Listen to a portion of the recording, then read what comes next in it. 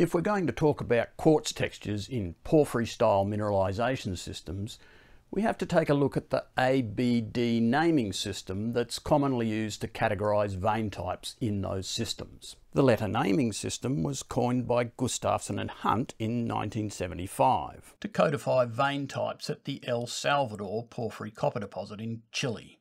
Their system was primarily designed to record the relative timing of the vein types based on cross-cutting relationships, and hence to draw some conclusions about the evolution of the hydrothermal fluid system. But they also included some mineralogy and textural characteristics so that isolated veins could be assigned to one of the categories. The original definitions are described in this table from the Gustafson and Hunt paper. In summary, a-type veins are irregular, wispy stockworks filled with saccharoidal quartz, anhydrite and perthitic feldspar. Chalcopyrite and bornite occurred disseminated through the quartz. Veins merge into wall rock with indistinct boundaries. They have thin, weak halos of K-feldspar or albitic alteration. Fluid inclusions are abundant with saline and vapour-rich populations. Timing is early relative to other veins and to ore. B-type veins are more planar stockworks, filled with quartz, anhydrite, molybdenite and chalcopyrite. Centerline seams are common. Mineralogy and texture are commonly banded parallel to the walls of the vein. The quartz is granular and approaches fine comb texture. Fluid inclusions are similar to A veins, but less abundant and include some low salinity types.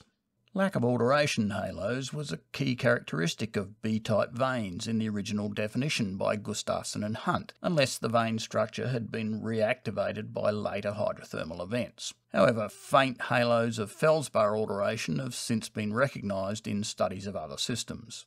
D-type veins are typically thin planar veinlets, filled mostly with pyrite, chalcopyrite, sphalerite and galena. Quartz has crystalline textures including fine comb, and sulfides occur interstitial to that quartz. Fluid inclusions are less abundant and are dominated by low salinity liquid phases. The veins typically have distinct halos of phyllic alteration that extend two to five times the width of the vein. The lettered vein naming system became very popular because similar vein types with similar timing relationships could be found in almost every porphyry style mineralisation system. But classification by mineralogy and textures alone became problematic when it was applied to systems with different chemistry. The El Salvador porphyry was dominated by copper molybdenum mineralisation. Systems dominated by copper gold molybdenum only and gold only mineralisation have quite different sulfide assemblages. Many also include oxides, particularly magnetite and hematite, in the early vein stages. This resulted in expansion of the lettering system by later workers. The M type was introduced to describe veins that consist almost entirely of fine granular quartz and magnetite. Their timing is typically somewhere between A and B type veins, although they appear before A veins in this figure from Sillitoe 2000. G-type veins are similar to M-type, except that they're hosted in wall rock lithologies outside the porphyry intrusives. C-type has sometimes been applied to veinlets of almost pure chalcopyrite that come in somewhere between B and D in the paragenetic sequence, and commonly reuse fractures in B-type veins. EB for early biotite refers to thin wispy veinlets filled almost exclusively with biotite. EDM for early dark mica refers to early fractures with alteration halos of dark coloured micas, mostly biotite. The fractures typically have little or no infill. The biotite is often partially or completely replaced by chlorite during subsequent hydrothermal events. QAM, or quartz anhydrite molybdenite veins, are similar to B veins except that molybdenite is the dominant sulfide instead of chalcopyrite. While the alphabet soup of names can be pretty confusing, you can see that there's a general progression of quartz textures from compact and anhedral forms to larger, more crystalline forms with more interstitial space, reflecting declining temperature and more brittle fracture behaviour in the system. The switch from granular to comb textures also coincides with a change from lithostatic to hydrostatic pressure conditions in many systems. There's a parallel trend in other vein minerals with oxides, anhydrite and silicates, followed by molybdenite, bornite, chalcopyrite, pyrite, sphalerite, galena and finally carbonates, reflecting declining temperature and salinity in the fluids. Notice that quartz is the dominant mineral in the A and B type veins that represent fluids in the range of about 600 to 450 degrees C. The quartz goes missing during the deposition of C and early D type veins that represent the peak ore stage in most porphyry systems, with fluids between about 450 and 350 degrees C. That's because silica solubility goes back up as temperature declines through that window.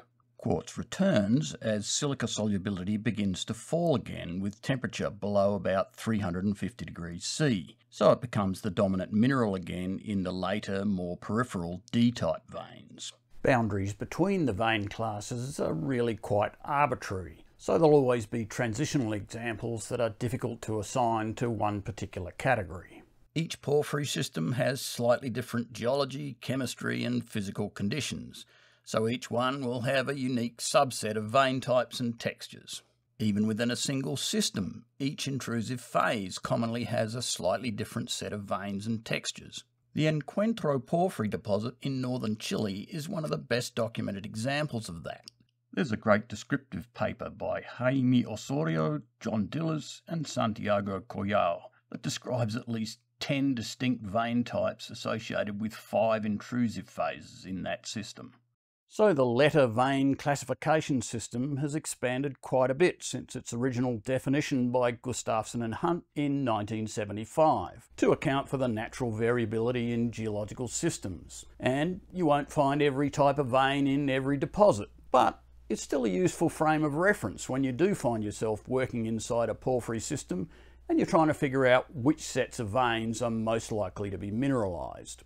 From the point of view of quartz textures, the granular laminar textures, parallel walls, centre lines, and multiple cross-cutting generations that characterise B veins are quite unique to porphyry systems. So that's a really useful flag to let you know that you're inside one of those systems and hence what else you should be looking for.